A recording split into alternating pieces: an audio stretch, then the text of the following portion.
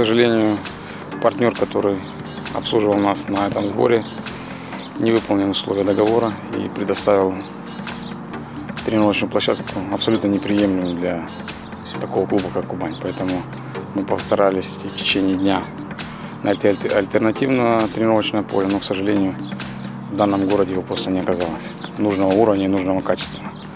Поэтому приняли решение, чтобы вернуться в Краснодар и в домашних условиях уже готовиться к чемпионату. Очень жаль, что а, такое как бы ЧП произошло, потому что у нас были качественные спарринги.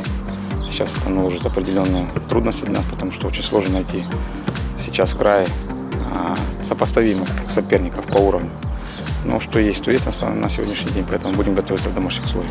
С завтрашнего дня у нас блок из трех дней, где мы будем работать, тренироваться в двухразовом режиме. А, вот.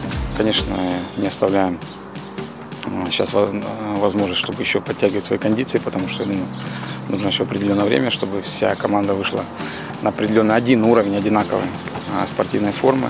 Надеемся, что в течение этой недели нам удастся это сделать. И в конце недели мы 23 числа планируем провести спарринг э, с волгоградским ротором.